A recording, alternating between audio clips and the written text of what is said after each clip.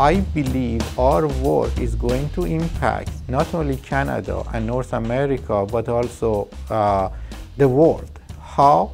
Uh, by developing the next generation of cars, we are going to help the industry to go from an unsustainable solution to a sustainable solution. If we look at uh, our cars, the emissions, we have a big problem.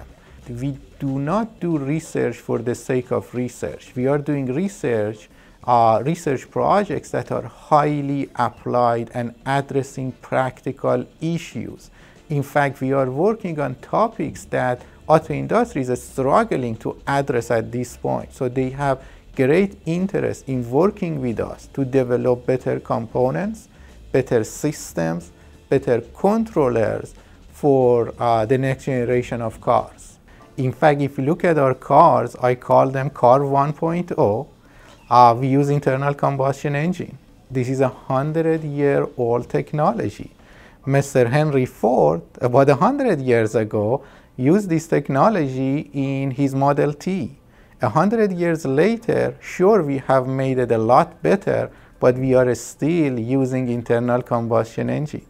And this uh, technology is not sustainable. So what we are doing, we are working on the next generation of cars. I call them car 2.0, which are electrified. And we believe the transportation of the future is electrified, is based on the vision of generating electricity from carbon-free and renewable energy sources and use that clean energy in transportation.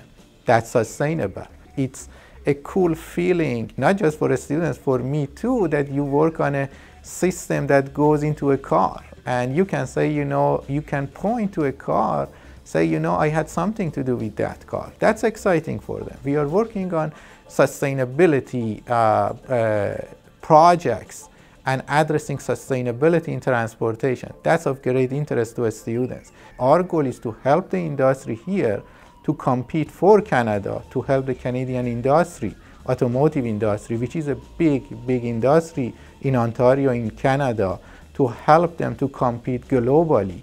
And that's going to create a lot of jobs, high paying jobs, high tech jobs for Canadians. And that's a very good thing for Canada.